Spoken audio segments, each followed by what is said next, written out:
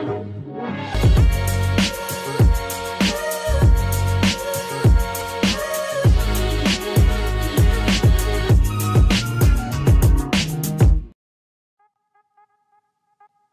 welcome back sa ating channel mga brad. So, ngayon, magkakabit tayo ng pass light sa Smash. Yun. Meron dito tayong momentary switch.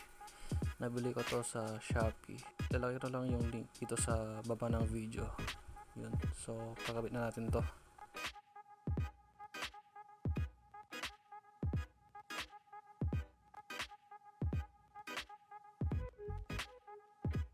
Yun, so may dalawang wire lang sa switch natin mga brad. So itong isa accessory wire ng Smash. So yung accessory wire ng Smash is kulay orange siya. So may wire na ako dito na nakadugtong sa accessory wire natin. So dito ko na lang siya itatap.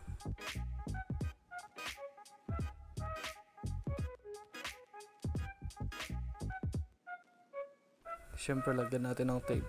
Positive line kasi ito mga brad. So dapat hindi siya madikit sa body ground.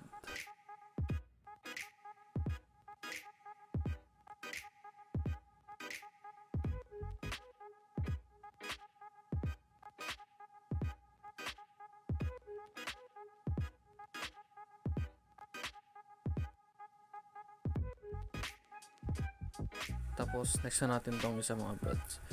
So sa akin is may MDL ako. So dito ko na lang siya kakabit. So ang MDL ko pala is kulay yellow yung high niya. Kaya dito sa yellow ko itatap.